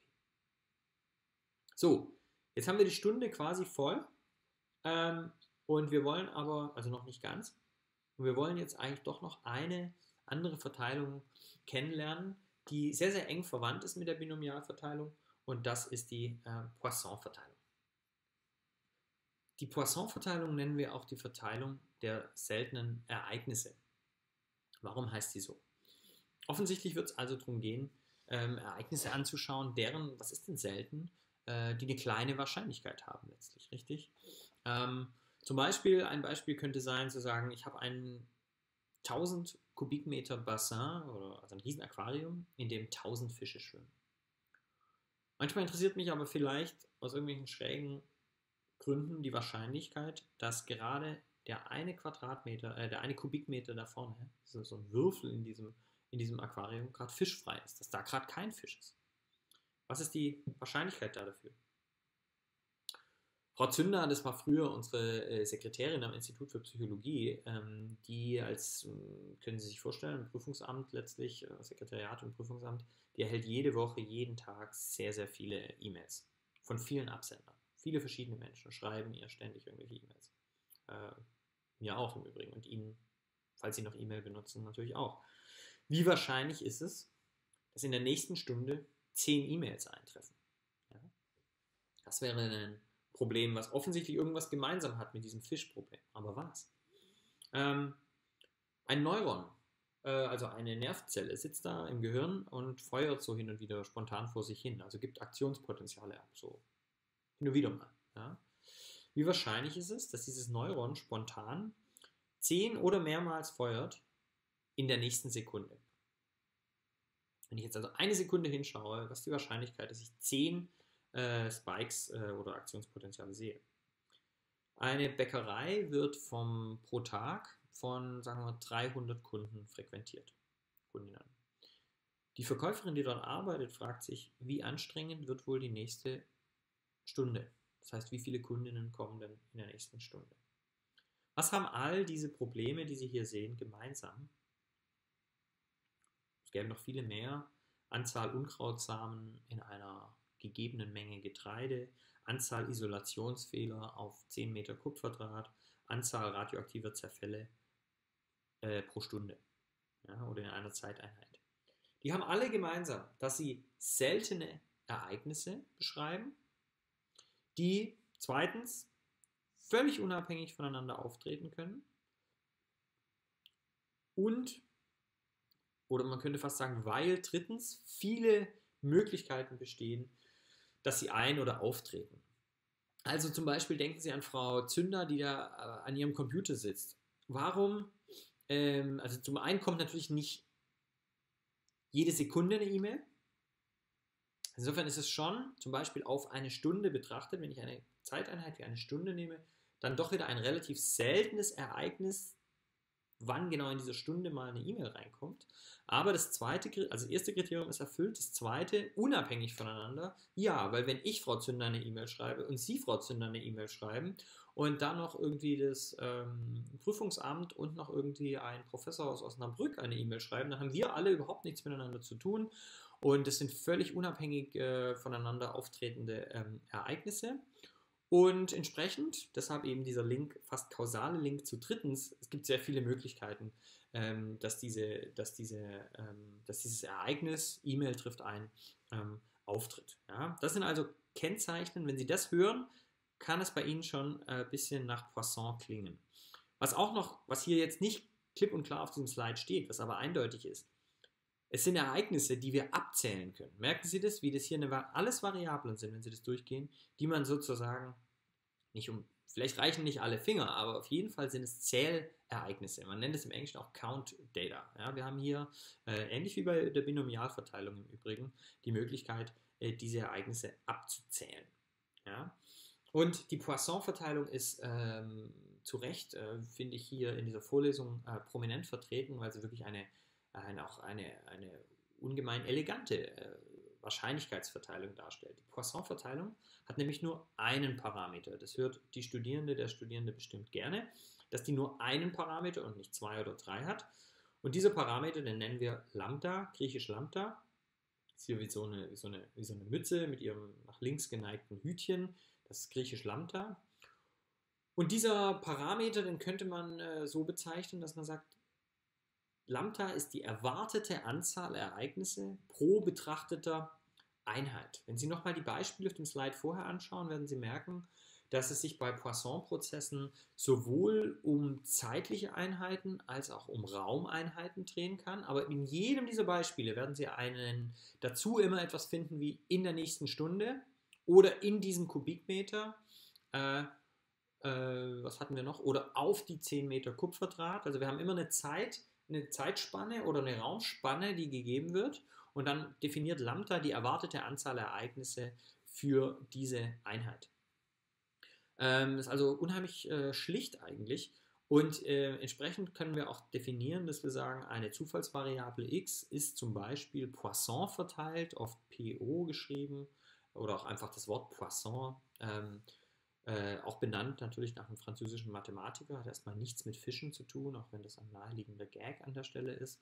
Ähm, Poisson verteilt mit Lambda. Und Lambda muss dann natürlich mit einem Wert äh, versehen werden. Ja? Und das wollen wir uns jetzt noch kurz ein bisschen anschauen. Die Wahrscheinlichkeitsfunktion dazu, die leiten wir hier in der Kürze der Zeit jetzt nicht her, wie wir das bei, bei der Binomialverteilung noch getan haben. Da haben wir das quasi from scratch aufgebaut mit diesen, mit diesen Probanden, die sich geweigert haben. Dann waren es erstmal vier und dann haben wir uns genau angeschaut, wie sich das eigentlich, wie sich die Formel sozusagen ergibt. Das tun wir jetzt hier nicht. Aber wir können mal kurz schauen, was wir hier dran eigentlich kennen und was nicht. Also nochmal, die Wahrscheinlichkeit äh, ist, dass die Zufallsvariable x genau den Wert k annimmt. Wie kommt sowas zustande? Das kann also sein, wir sind jetzt da gesessen und haben Frau Zünder eine Stunde lang zugeschaut oder haben eine Stunde lang gezählt, wie viele E-Mails sind denn eingetroffen. Und dann sind also entweder fünf eingetroffen oder acht oder drei oder sowas. Ja? Halbe E-Mails gibt es ja nicht, das sind Zähldaten. Ich kann das abzählen. Das wäre sozusagen dieses K. Und die Wahrscheinlichkeit, dass genau das eintritt, gegeben Lambda, kann ich dann ausrechnen als Lambda hoch k geteilt durch k Fakultät. Und dann gibt es hier hinten so einen Ausdruck, das ist so eine, so eine e-Funktion, eine Exponentialfunktion, e hoch minus Lambda. Das sind alles Dinge, die kann ich mit einem Taschenrechner bewältigen. Ein Taschenrechner kann Fakultät und ein Taschenrechner hat auch diesen, äh, diese Eulersche Zahl, dieses e hoch. Ja, können Sie sonst gerne mal auf Ihrem Taschenrechner gucken, äh, wie das auch geht. Und es wird noch besser mit der Poisson-Verteilung. Der Erwartungswert einer Poisson-Verteilung lautet einfach Lambda. Wir erwarten also, wenn wir davon ausgehen, naja, normalerweise treffen 10 E-Mails pro Stunde ein. Und jetzt gehen wir her und schauen eine Stunde Frau Zünder zu. Na, wie viele E-Mails sollten dann eingehen? Was erwarten wir? Unser Best Guess, unser Lagemaß, unsere Wahrscheinlichkeitsverteilung ist dann natürlich auch 10. Ja? Also dieses Lambda. Und die Varianz ist ebenfalls Lambda. Das ist das also ungeheuer ästhetische und auch irgendwie faszinierende, dass bei einer Poisson verteilten Variable der Erwartungswert genau gleich der Streuung oder der Varianz ist. Ja? Das ist schon einigermaßen abgefahren. Sie werden sagen, das ist ja jetzt doch alles ein bisschen künstlich und auch ein bisschen mathematisch. Sowas gibt es doch in der wirklichen Welt nicht. Da muss man sagen, gibt es in der wirklichen Welt sehr, sehr viel. Das berühmteste Beispiel ist auch das lustigste, ähm, wenn man, äh, sagen wir mal, nicht Kavallerist in der preußischen Armee ist, ähm, im, im, preußischen, in der preußischen Kavallerie, Entschuldigung. Ähm, diese Daten wurden von einem ähm, Wissenschaftler, von Bortkiewicz, etwa vor 120 Jahren tatsächlich zusammengetragen und damals auch veröffentlicht unter dem lustigen Namen das Gesetz der kleinen Zahlen. Sie merken die Anspielung auf das Gesetz der großen Zahlen. Hier das Gesetz der kleinen Zahlen, das ist natürlich die Anspielung auf die seltenen Ereignisse. Ähm, der, das finden Sie quasi in jedem Statistikbuch reproduziert mittlerweile, dieses Beispiel. Das sind aber hier die echten Daten dazu. Was wurde hier gemacht? Hier wurde gezählt in zehn Regimentern der preußischen Armee auf 20 Jahre gerechnet. Wir haben jetzt also wiederum so eine Zeitraumeinheit definiert, in dem Fall eher eine, eine Zeiteinheit, wenn man so will. Äh, zehn Regimenter mal 20 Jahre. Wir könnten also sagen 200 Regimentjahre bisschen künstlich, aber könnten wir mal sagen, in diesen 200 Regimentjahren, die wir beobachtet haben, 20 Jahre in 10 Regimentern, sind insgesamt 122 Soldaten durch Huftritt verstorben. Gegeben, wie viele Soldaten in diesen 10 Regimentern 20 Jahren gedient haben, ist das ein seltenes Ereignis, also an einem Huftritt zu versterben. Heute wäre es noch sehr, sehr viel seltener, aber damals war natürlich das Pferd noch ähm, der beste Partner des Menschen. Und so können wir einen äh, Durchschnitt pro Jahr und Regiment ausrechnen. Und Sie merken schon, worauf das hier hinausläuft. Es läuft auf so ein Lambda hinaus, einen Erwartungswert, ein Lambda von etwa 0.61. Ähm, und wenn Sie jetzt mal schauen, was, äh, das wäre sozusagen pro Jahr und Regiment. Und wenn Sie dann mal in diese zehn Regimente hier reinschauen, sind hier quasi die Spalten und die verschiedenen Jahre, dann sehen Sie, meistens zum Glück ist keiner durch Huftritt verstorben. Aber oft hat es mal einen erwischt, manchmal auch zwei. Was ist so der höchste Wert? Hier hat es hin und wieder auch mal drei erwischt. Und da hinten im Chor 14 im Jahr 1882 hat es vier Unglücksraben erwischt, dass sie vom Huftritt eines Pferdes getötet wurden. Ja? Wenn wir das abtragen als eine, Achtung, äh, Wahrscheinlichkeitsverteilung, dann ergibt sich folgendes Bild. Wir haben wiederum eine Wahrscheinlichkeitsverteilung, die eine Probability Mass Function ist, dahingehend, dass es also diskrete Ereignisse sind Und weniger als 0 kann es natürlich nicht geben. Ähm, dann kann es eben 1, 2, 3, 4, 5, es könnten auch mehr sein. Das ist hier jetzt quasi nach oben erstmal offen, aber man hat sich hier entschieden, jetzt mal nur 4 bis 4 abzutragen, weil mehr jetzt in diesen Daten auch nicht vorkam und weil Sie auch sehen, es würde in diesem Fall auch sehr, sehr, sehr kleine Wahrscheinlichkeiten werden. Auf der Y-Achse wiederum die Wahrscheinlichkeit, dass genau so viele beobachtet werden. Ja? Ähm, und hier jetzt also tatsächlich in Rot abgetragen die tatsächlichen beobachteten Todesfälle durch Huftritt in diesen Regimentern. Ähm, und die Durchschnitt äh, und, und das in Blau abgetragene ist quasi die theoretisch angenommene Verteilung, wie sich eine Zufallsvariable Lambda, äh, eine, Verzeihung, eine Zufallsvariable x mit dem Parameter Lambda von 0,7 äh, pro Einheit ähm, abtragen würde. Dann sehen Sie doch schon eine schöne Übereinstimmung zwischen dem roten Balken oder dem roten Stab und dem blauen Stab. Und diese Übereinstimmung ist sozusagen das, was uns dieses Beispiel eigentlich lehren will. Andere Beispiele gibt es ähm, viele. Sehr beliebt ist Poisson, äh, sind Poisson-Modelle im Fußball, weil Fußballtore ebenfalls die ähm, seltene Ereignisse sind. Auf so ein ganzes Fußballspiel gerechnet fallen ja dann vielleicht ein, zwei, drei Tore, oft mal vier, mal fünf. Und ganz selten eben auch, wie hier noch in diesen Slides, äh, aus sozusagen besseren, vielleicht doch ein bisschen besseren Zeiten des deutschen Fußballs, dieses berühmte Halbfinale äh, von der WM 2014, als sagenhafte acht Tore gefallen sind, sieben für Deutschland und eins dann noch für Brasilien. Und hier kann man jetzt anhand des Poisson-Prozesses oder der Poisson-Verteilung fragen, äh, wie wahrscheinlich oder unwahrscheinlich war es denn, dass tatsächlich acht Tore in einem äh, WM-Spiel fallen.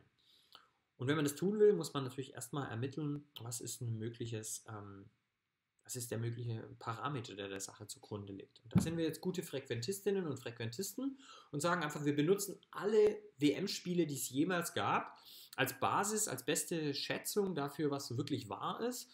Und da ergibt sich dann sozusagen ein langjähriger Durchschnitt von äh, etwa 2,5, 2,49 Toren pro Fußballspiel. Also die Einheit hier ist jetzt ein Fußballspiel, 90 Minuten, und da fallen im Schnitt 2,49 Tore. Das ist also unser Parameter Lambda, den wir jetzt annehmen.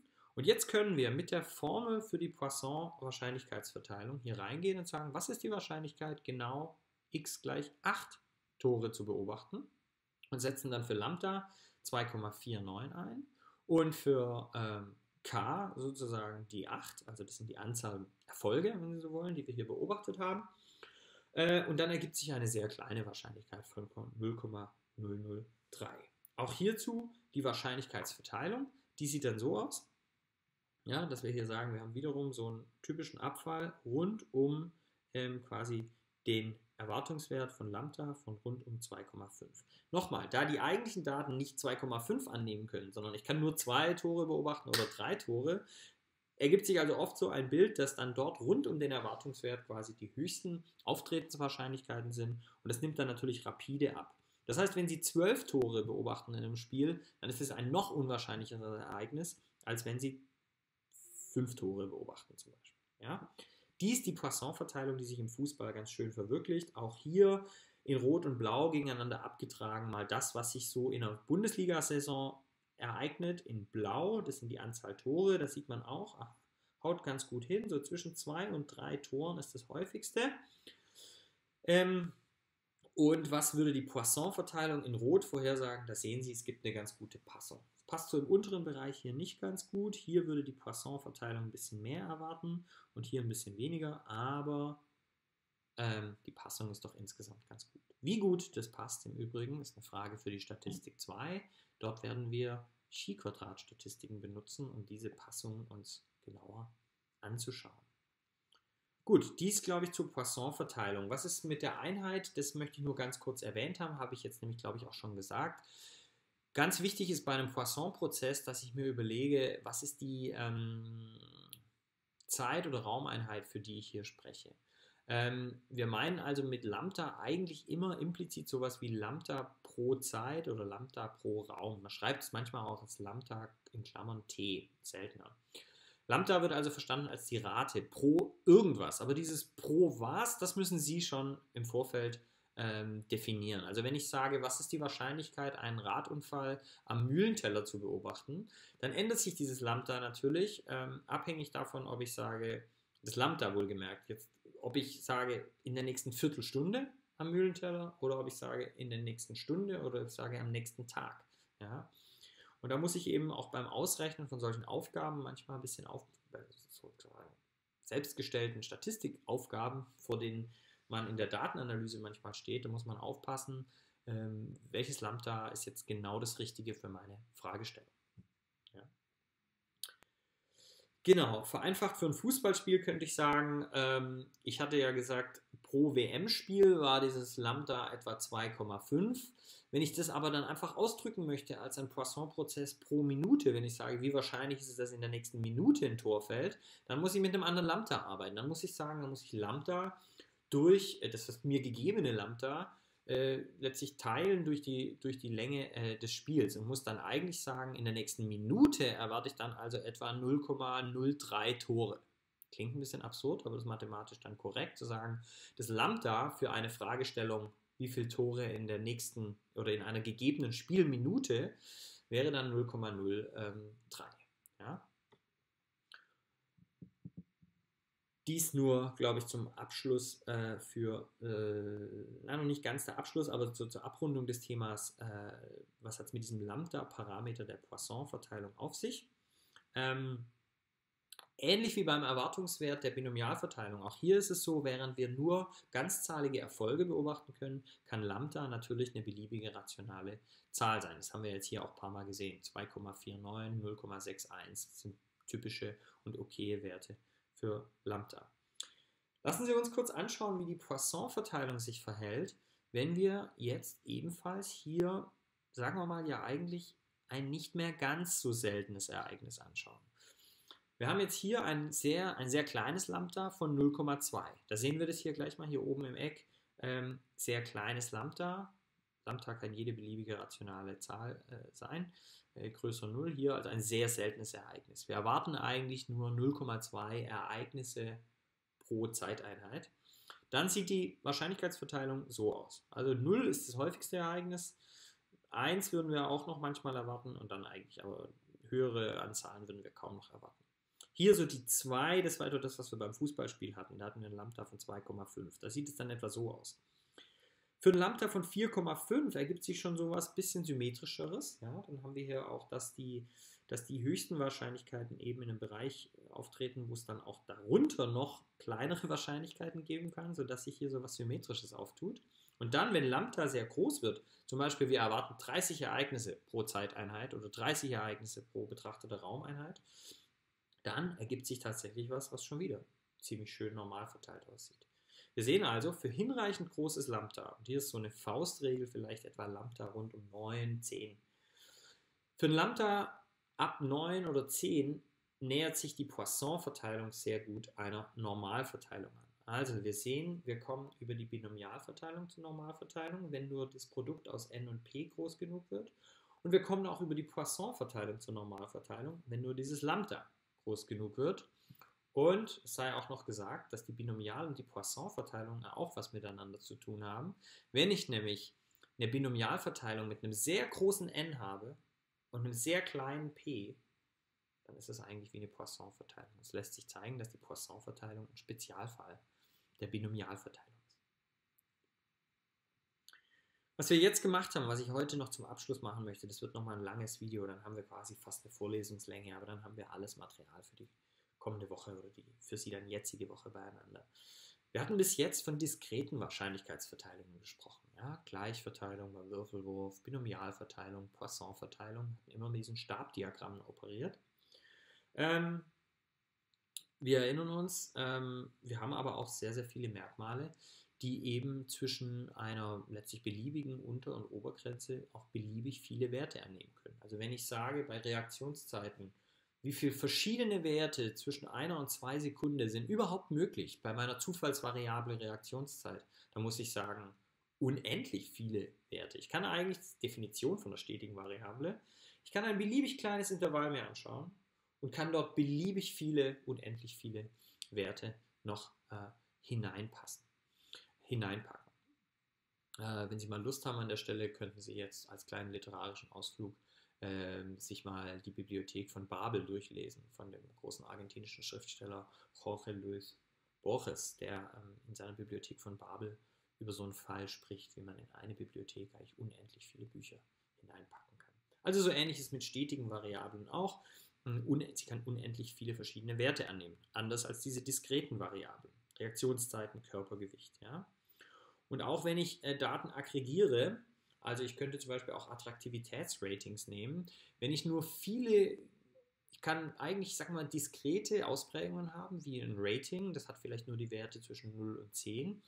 Wenn ich jetzt aber anfange, die ähm, zu aggregieren, also letztlich zusammenzufassen, zum Beispiel zu Mitteln über 100 Durchgänge, dann können natürlich auch krumme Ratings, also wirklich krumme, quasi stetige Werte ähm, resultieren. Und ähm, diskrete Verteilungen sind natürlich für solche Werte gar nicht definiert. Ich kann ja nicht in einen Binomialkoeffizienten n, also bei 10 Durchgängen 3,81, das kann ich, kann ich gar nicht ein, eingeben sozusagen. Es funktioniert überhaupt nicht. Ein k kann nur ganzzahlig sein bei einer Binomialverteilung oder bei einer Poisson-Verteilung. Also wir brauchen da irgendeine andere Lösung dafür. Und zwar brauchen wir natürlich stetige Wahrscheinlichkeitsverteilungen. Bisher hatten wir einfach gesagt, für jede mögliche Ausprägung der Zufallsvariable können wir eine Wahrscheinlichkeit ausrechnen und die haben wir im Zweifelsfall noch aufsummiert. Dann haben wir diese Stäbe quasi aufsummiert oder kumuliert und hatten dann eine Verteilungsfunktion. Ähm, das geht bei stetigen Zufallsvariablen so natürlich nicht mehr. Warum geht es nicht mehr? Passiert jetzt was sehr äh, Interessantes und Paradoxes. Ich muss kurz gucken, dass wir hier in der Zeit liegen. Ähm, was ist denn eigentlich die Wahrscheinlichkeit, dass ein deutscher Mensch äh, genau 68,470588235,294 Kilo schwer ist. Anders gefragt, was ist die Wahrscheinlichkeit, dass er zwischen 68 und 69 Kilo schwer ist?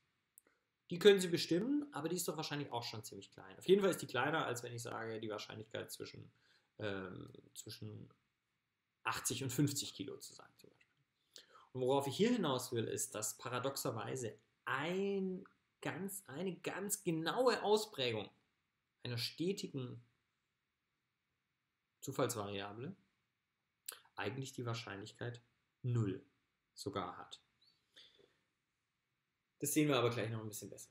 Eine erste Maßnahme, wenn wir solche stetigen Merkmale haben, wir machen das jetzt hier zum Beispiel mal mit dem Körpergewicht nochmal, wäre doch, wir kategorisieren sie. Oder? Das war unser wichtigster Trick in der deskriptiven Statistik, dass wir gesagt haben, stetige Merkmale, kein Problem. Wir bilden sogenannte sekundäre Häufigkeitsverteilungen. Wir bilden Kategorien, Klassen, Bins, in die wir die Daten einteilen. Wir können also hier so ein Histogramm der Körpergröße uns zum Beispiel angucken, mit der Intervallbreite 10 und 6 Kategorien. Und jetzt kann ich hier natürlich eine Wahrscheinlichkeit ausgeben. Was ist die Wahrscheinlichkeit, äh, zwischen 60 und 70 Kilo schwer zu sein? Das entspricht genau der Höhe dieses Balken 30 Prozent. Okay? Kann ich einfach machen. Was wir auch gemacht haben, war, wir haben ein Histogramm immer so ein bisschen rumgepfuscht oder so ein bisschen rumgekünstelt und haben gesagt, hm, wir probieren verschiedene Bindbreiten durch. Und wir haben auch gesagt, das macht auch Sinn. Und jetzt benutzen wir das aber mal zu unserem Vorteil hier, also wirklich als äh, fast eine Art von Beweis, den wir hier führen wollen. Nämlich, sehen Sie, was ich hier geändert habe. Ich habe jetzt die Intervallbreite auf 2 gemacht und bin auf 30 Kategorien gegangen. Also wir sehen ein viel äh, feiner ähm, abgestuftes Histogramm. Es entstehen irgendwie neue Muster hier hinten auch. Aber ganz wichtig, wenn ich nach meiner äh, Regel, wie ich sozusagen hier auf diese Wahrscheinlichkeiten komme, wenn ich einfach die Wahrscheinlichkeiten jetzt immer noch zwischen 60 und 70 einfach aufsummiere, dann muss ich halt diese, muss ich jetzt nicht mehr einen Balken anschauen, sondern muss halt die Wahrscheinlichkeit in diesen Balken zusammenfassen. Sehen Sie auch hier, wie das jetzt runtergegangen ist. In jedem einzelnen Bin ist natürlich weniger vertreten. Also Sie können hier nochmal zurückgehen. Die ganze Skaliertheit von der Y-Achse ist jetzt eine ganz andere, weil es gar keinen, es gibt nicht mehr einen Bin, der mal 30, 40 Prozent einfangen würde, sondern jeder einzelne Bin fängt natürlich nur noch vielleicht 4, 5, 6, 8 Prozent ein. Wenn ich das aber aufsummiere, komme ich auf, wunderbar, genau denselben Wert, genau wieder auf 30 Prozent. Okay, also dieses Spiel kann ich offensichtlich noch weiter treiben. Und zwar dahingehend, dass ich W gegen 0 schiebe. Das erinnert sich jetzt vielleicht ein bisschen an die Schulmathematik. Dass ich glaube, also ich erinnere mich zumindest dunkel so an die damals 10. Klasse oder so, glaube ich, oder 9. Klasse, also 10. vielleicht, dass man so äh, angefangen hat, mal sich mit Integralen zu beschäftigen. Da ging das, glaube ich, nämlich auch eigentlich so, dass man gesagt hat, man lässt sozusagen so die Intervallbreite jetzt quasi immer kleiner werden und damit geht natürlich die Kategorienanzahl gegen unendlich, also gegen unendlich. Irrerweise, was aber nach diesem Prinzip passiert, wenn ich einfach alle Bins zwischen 60 und 70 aufsummiere, ist die Wahrscheinlichkeit bleibt immer die gleiche. Was ist also eigentlich gerade passiert? Stichwort Integralrechnung. Die Fläche unter der Kurve ist immer genau gleich geblieben. Unter der Kurve, Sie müssen an diesen sogenannten Polygonzug hier denken, der die Klassenmitten verbindet, der wird natürlich immer feingliedriger, aber die Fläche darunter hat sich nicht verändert. Das ist ja irre. Weil jetzt haben wir hier eine Wahrscheinlichkeit und hier sprechen wir von Fläche unter der Kurve. Das heißt, wir können jetzt schon sagen, offensichtlich entspricht die Fläche unter einer Kurve der Wahrscheinlichkeit. Das ist ein ganz wichtiger Moment, der jetzt zugegebenermaßen sehr spät in diesem Video kommt. Sie sind total müde und erschöpft. Ich hoffe, Sie haben sich eine Pause gegönnt. Das ist ja ein Video, anders als eine Vorlesung. Ähm, und was wir jetzt eigentlich gerade gemacht haben, ist, wir haben also tatsächlich äh, diese äh, Kurve äh, integriert. Wir haben eine Wahrscheinlichkeitsfunktion genommen und haben deren Integral betrachtet, haben eigentlich also abgeleitet und haben so die Wahrscheinlichkeit bestimmt. Was ist die Wahrscheinlichkeit, dass x zwischen einer beliebigen unteren und oberen Schranke liegt? Das entspricht genau der Fläche unter dieser Kurve. Dieses Integral ist sozusagen der, der wichtigste Schlüssel, um jetzt von dem Rechnen mit Wahrscheinlichkeiten, wie wir es jetzt quasi zwei Wochen, kann man sagen, gemacht haben, ähm, hin zum Ablesen von Wahrscheinlichkeiten aus diskreten, äh, Entschuldigung, aus stetigen Wahrscheinlichkeitsverteilungen ähm, führt. Und das haben wir jetzt quasi hiermit ähm, geschaffen. Wir halten fest, was wir eigentlich tun ähm, in, der, in der Wahrscheinlichkeit und dann vor allem in der Inferenzstatistik, also so ab nächster Woche dann oder ab jetzt in den kommenden verbleibenden wenigen Wochen.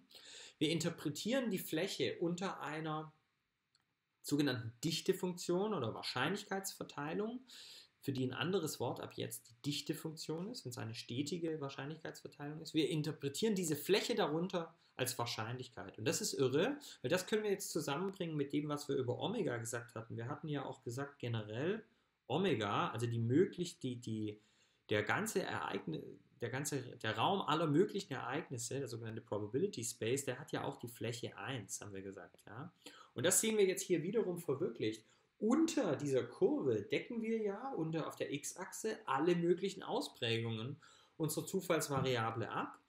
Und die Fläche unter so einer Wahrscheinlichkeitsverteilung, die ist also immer ähm, 1. Das erinnert uns an das zweite Axiom von Kolmogorov. Deshalb hier auch das nochmal so hier hingeschrieben. Äh, und damit haben wir jetzt quasi die Dichtefunktion etabliert und wir können jetzt auch zum Beispiel hier uns eine ähm, Standard-Normalverteilung angucken und können jetzt neu dazu noch sagen, ähm, was wir da abtragen, also diese Funktion von x, die da so etwas äh, nebulös immer auf der, x, auf der y-Achse steht, das ist eigentlich die Dichte. Und wir nennen diese Funktion die Wahrscheinlichkeitsverteilung einer stetigen Variable generell, die sogenannte ihre PDF oder Probability Density Function. Also nicht PDF wie Portable Document Format, sondern die Probability Density Function. Dichte kann man sich nochmal ganz schön vorstellen, dass man fragt, wo wohnen so die meisten der x-Werte? Dort ist es am dichtesten, so leite ich mir das zumindest immer her. Und es ist natürlich hier rund um den Erwartungswert in dem Fall hier die 0 bei einer Standardnormalverteilung. Und wir könnten dann hier auch ein Intervall definieren und könnten sagen, hier in so einem gewissen Intervall rund um 0 ähm, wohnen 40% der Werte. Und wenn Sie sich erinnern, haben wir ja für eine Standardnormalverteilung genau das gemacht. Ich nehme sogar mal hier die gelbe Farbe und sage, wir wissen doch eigentlich, wie viel Prozent diese Fläche war. Wir haben das natürlich so ein bisschen verklausuliert in der Vorlesung 7 oder wo das war, in dem Video 7, als ähm, wir haben es ein bisschen verdruckst mit relativen Häufigkeiten noch gemacht. Und jetzt können wir wirklich sagen, wenn wir eine standard normal verteilte Zufallsvariable haben, dann wissen wir, dass die Wahrscheinlichkeit, dass sie zwischen minus einem und einem einer Standardabweichung letztlich liegt, äh, dort werden wie viel waren es nochmal, die berühmten 68% liegen. Das heißt, die Wahrscheinlichkeit, dass also eigentlich, ich kann sagen, z minus, zwischen minus 1 und 1 ist, beträgt 68% und so weiter und so fort. Ja, das ist deshalb auch tatsächlich der gleiche Graph, den ich hier verwende. Und nochmal immer, egal wie die äh, sogenannten Tails der Verteilung sind, die kommen ja nie ganz auf runter, die nähern sich ja nur asymptotisch sozusagen hier der, der Null dann auf der y-Achse an. Egal, die Fläche darunter, die Fläche unter einer stetigen Wahrscheinlichkeitsverteilung ist immer gleich 1. Egal welche Form diese Wahrscheinlichkeitsverteilung eigentlich hat. Das war das Wichtigste, was wir für heute noch besprechen mussten.